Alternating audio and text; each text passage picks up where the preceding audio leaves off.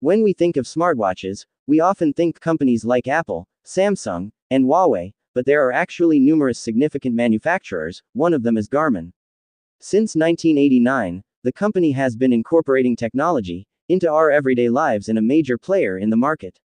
Now, Garmin brings significant updates to its small, stylish Lily 2 smartwatch series.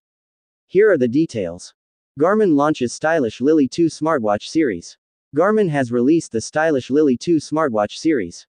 We actually got a sneak peek at these watches when images surfaced on the Garmin official support forum a while back. Now, these watches are officially out, offering two models, Lily 2 and Lily 2 Classic. Both versions boast a sleek design featuring metal, watch cases, hidden displays with unique patterned lenses, and updated color options. In the realm of wearable smartwatches, battery life is everything. The Garmin Lily 2 doesn't explicitly mention its battery capacity, but the companies claim it has a lithium ion battery that provides up to a full 5 days of usage. Considering both models are 25.4 mm in size, it's reasonable to assume this applies to both of them.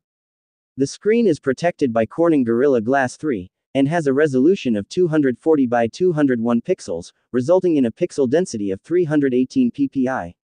Additionally, it boasts 5 ATM, 50 meters water resistance. Notably, it features sensors including an accelerometer, ambient light sensor, heart rate monitor, and SpO2 blood oxygen monitor. Similar to many of its competitors, it also includes features like activity tracking and sleep tracking.